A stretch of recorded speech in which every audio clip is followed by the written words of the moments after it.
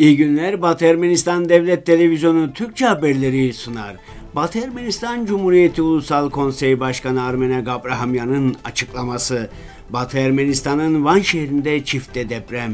Arman Tatoyan, Azerbaycan Cumhurbaşkanı ile Emine Erdoğan arasındaki görüşmenin videosunu Avrupa Birliği liderliğine yolladı. Papa Francis Ermenistan ziyaretini andı ve Artsakh Dağlı Karabağ sorunuyla ilgili endişelerini dile getirdi. Adam Şif, ABD Azerbaycan'a karşı sert tavır almalı. Sevr Antlaşması'ndan gözü korkan Türk toplumu. Boksta Artur Bazayan Avrupa şampiyonu oldu. Sevgili dostlar, sevgili yurttaşlar, Batı Ermenistan Ulusal Konseyi Başkanı olarak Ermenistan'ı ve 44 günlük soykırım saldırısına uğrayan Artsah'ı ziyaret ediyorum. Bu savaş sonucunda 6 bin kişi şehit düştü ve 10 bine yakın kişi de yaralandı. Amacım savaş sonrasında travma sonrası şok yaşayan, özel desteğe ihtiyaç duyan tüm insanlara fiziksel ve psikolojik yaraların üstesinden gelebilmeleri için destek olmaktır. Özellikle de bilinmeyen nedenlerle oluşan yaralarla ve günlük yaşamın ezici fiziksel ve psikolojik travmasıyla başa çıkmak için özel desteğe ihtiyaçları vardır. Bu yılın Nisan ayında Ermeni Arsak toprakları hakkında konuşan Bay Mariani'nin şu ifadesini kastederek uluslararası hukuka olan saygıya değinmek istiyorum.'' Bunlar uluslararası hukuka göre Azerbaycan'a ait olmasına karşın tartışmalı topraklardır. Yaşam kalitemizi, ailemizin güvenliğini, istihdamımızı, eğitimimizi, sağlığımızı, kültürümüzü, tarihimize olan saygımızı korumak mirasımızın temelidir.'' Bu toplum Birinci Dünya Savaşı'ndan sonra 1917'den 1920'ye kadar Fransa Bakanlar Konseyi'nin seçkin başkanı, aynı zamanda Var bölgesinin başkan yardımcısı ve ardından senatör olan George Clemenson tarafından desteklenen uluslararası hukukun gelişimine haklı olarak katılan bir toplumdur. Ben bu uluslararası hukuku destekliyor ve koruyorum. Savaşlara ve soykırımlara yol açan uluslararası hukukla hiçbir ilgisi olmayan 1921 Sovyet mevzuatı değil, Fransa'nın 1920 Sevr Antlaşması'nı imzalama hakkı ve uygulamasını destekliyorum.'' Bu mevzuat 1920'de tanınmış Ermenistan'ın bölünmesine yol açtı. Nasıl oluyor da Soğuk Savaş'ın bitiminden 70 yıl sonra bugün Fransız parlamentosunun bir üyesi Stalin'in Sovyet yasasını savunuyor. 2020'de yerli Ermeni nüfusunu yok eden tekfur ordularının desteklediği Azerbaycan ve Türkiye gibi fenomenleri destekliyor. Açıklamanın tamamını web sitemizden okuyabilirsiniz. Afet ve Acil Durum Yönetimi Başkanlığı AFAD, Batı Ermenistan'ın Van ilinde 4 ve 2.6 büyüklüğünde iki ayrı deprem meydana geldiğini açıkladı. Deprem Tuşba ilçesinde kaydedildi. Depremin 6.87 kilometre derinlikte meydana geldiği belirlendi. Ermenistan Cumhuriyeti Ombudsmanı Arman Tatoyan, kendi Facebook sayfasında yazdığına göre Azerbaycan Cumhurbaşkanı ile Türkiye'nin First Lady'si arasında geçen Ermeni esirler hakkındaki konuşmaların bir videosunu Avrupa Birliği'nin üst düzey liderliğine ek mektuplarda gönderdiğini ifade etti. Tatoyan iletisinde bugün Azerbaycan Cumhurbaşkanı ile Türkiye First Lady'si arasındaki görüşmenin tartışmasız video ispatını ek mektuplarla Avrupa Birliği'nin üst düzey yöneticilerine Avrupa Konseyi Başkanı, Avrupa Komisyonu Başkanı, Dış İlişkiler ve Güvenlik Politikası Yüksek Temsilcisine gönderdim.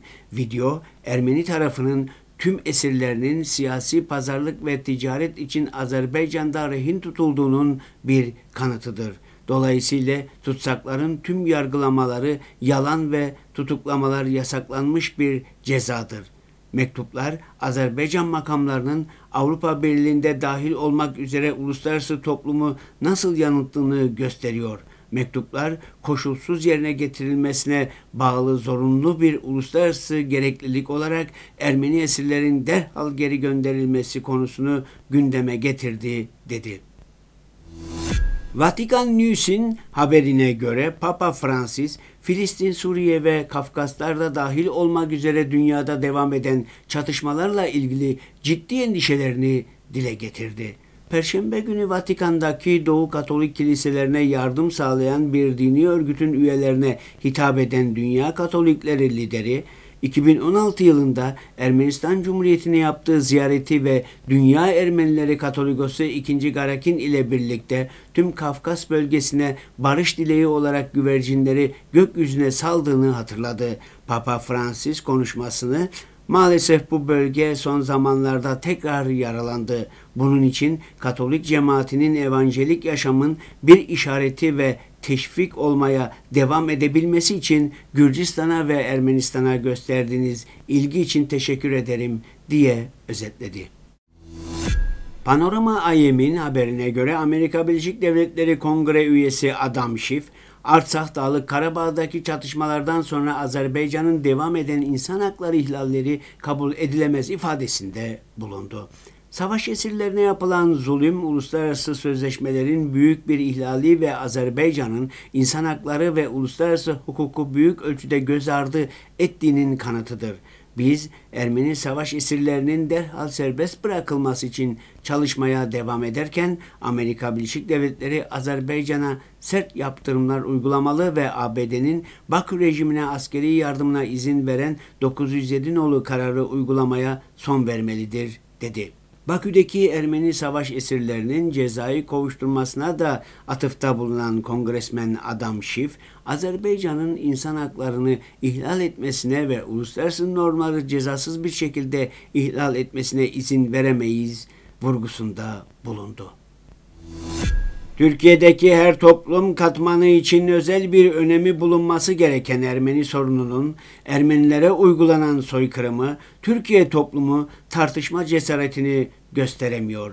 Bu açıdan Türkiye'nin gaddar tutumuna manevi temel oluşturan her şeyin açıkça söylemek gerekirse Ermeni halkının keder ve gözyaşı dolu sayfalarından alındığı inkar edilmemelidir.'' Taner Akçam, Türk halkının kimliğinin altında bu durumun yattığını vurgulamaktadır. Gerçek olan şey Batı Ermenistan'ın soykırımdan geçirilerek yok edilip Türkiye'nin yaratılmış olmasıdır. Türkiye Cumhuriyeti'ni yöneten şahsiyetlerden birisi de bu durumu böyle açıklamıştır zaten. Maalesef Türkiye Cumhuriyeti toplumu kendinde bir güç bulup kendi alınlarına sürülen bu gibi kara lekeyi bir türlü temizleyemiyor.''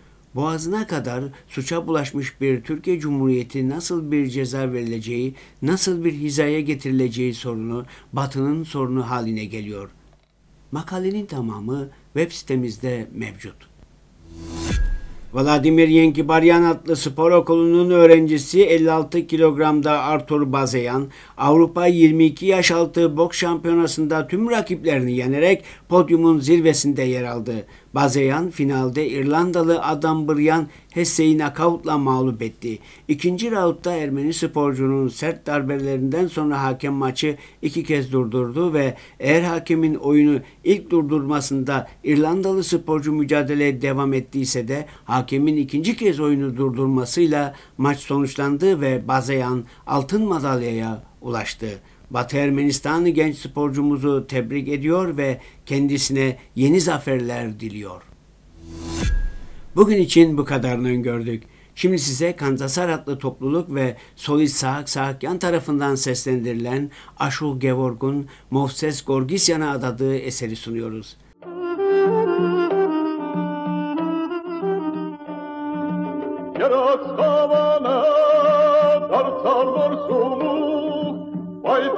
سرگندک هیچ بسراو؟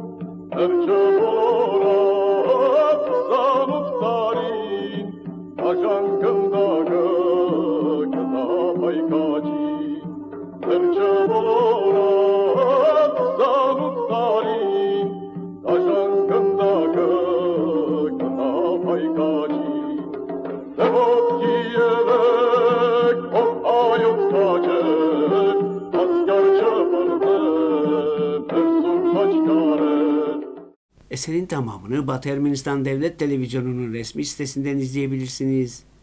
Hoşçakalın.